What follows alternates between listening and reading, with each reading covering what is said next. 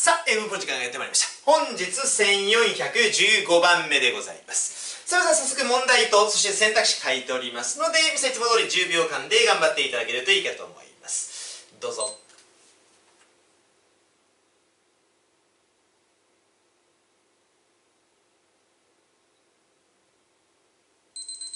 いけますでしょうか。さあ、皆さん、これはどんな感じか。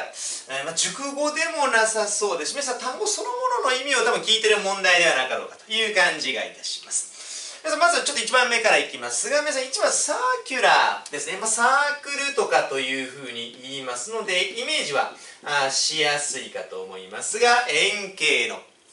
そして皆さん2番キュービック。これ皆さん聞いたことあるんじゃないかという感じがいたしますが、立方体ですよね。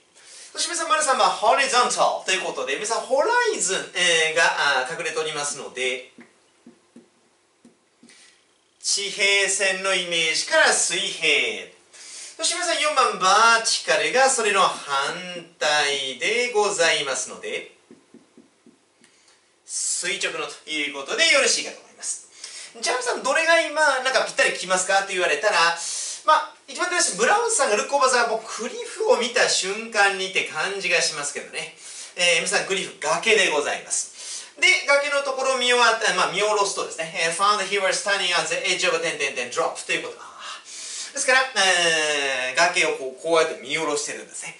ですから、こうやって見下ろしておりますので、えー、まさにその、まあ、端っこにまあ立ってるという様子でございますからね。ですから、あそのイメージから選択肢の4番、えー、垂直の vertical。これが正解ということでよろしいかと思います。これは単語の意味ですね。